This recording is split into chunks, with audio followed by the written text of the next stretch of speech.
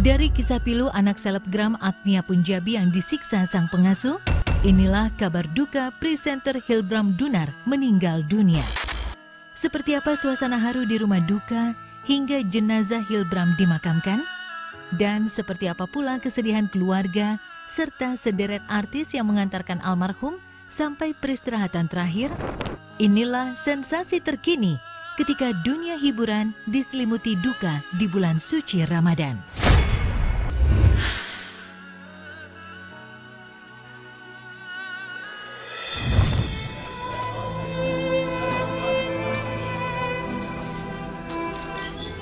Ya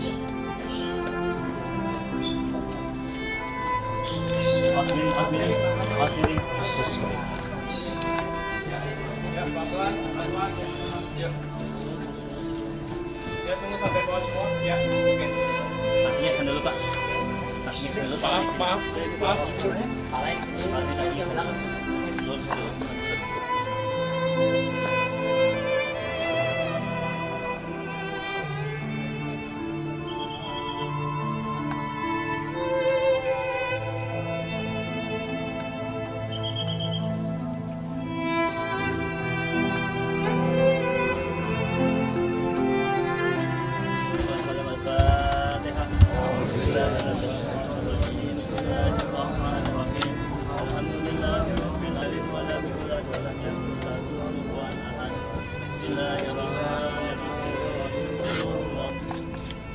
Atas nama keluarga kami ucapkan terima kasih sebesar-besarnya atas keikhlasan rekan-rekan yang telah hadir untuk mengantarkan almarhum di hari ini.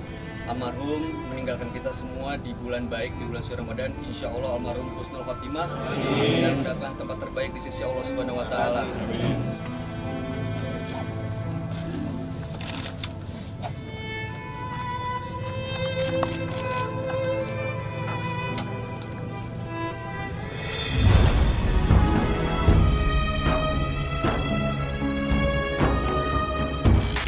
Seperti itulah tangis pilu Denny Luciana di hari pemakaman sang suami Hilbram Dunar. Air mata wanita dua anak itu benar-benar pecah. Ia sungguh tak menyangka akan ditinggal Hilbram begitu cepat, tepat di bulan suci Ramadan. Minggu 31 Maret 2024 kemarin, Hilbram Dunar berpulang karena penyakit kanker yang dideritanya. Kepergian Hilbram yang begitu mendadak tak hanya menjadi pukulan keras bagi keluarga, namun juga para sahabat hingga rekan-rekan kerja almarhum dari berbagai kalangan. Lantas, sejak kapan Hilbram menderita penyakit kanker hingga membuat nyawanya tak selamat? Pak didiagnosa kanker tanggal 17 Oktober, tapi keluarga udah tahu dari mungkin lima hari sebelumnya dikasih dikasih tahu sama dokter biar kita bisa siap-siap pas papa yang kasih tahu kita. Tentunya kaget ya, karena eh, kita tahu sebelumnya Hilbram memang menderita sakit. Namun ada kabar, saya juga waktu itu ikutnya di media sosial bahwa cancer yang dideritanya itu sudah semakin berkurang dan semakin mengecil sehingga arahnya atau progresnya lebih baik. Namun ternyata Allah punya kehendak yang lain.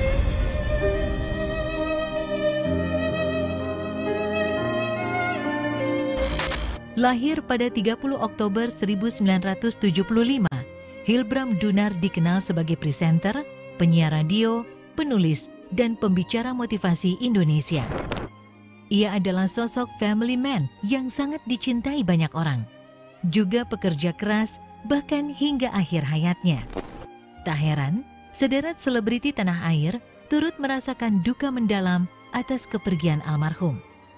Mereka benar-benar kehilangan sosok orang baik, pribadi yang pintar dan cerdas, serta sayang kepada semua orang. Lantas, seperti apa sosok Hilbram Dunar di mata keluarga dan sahabat?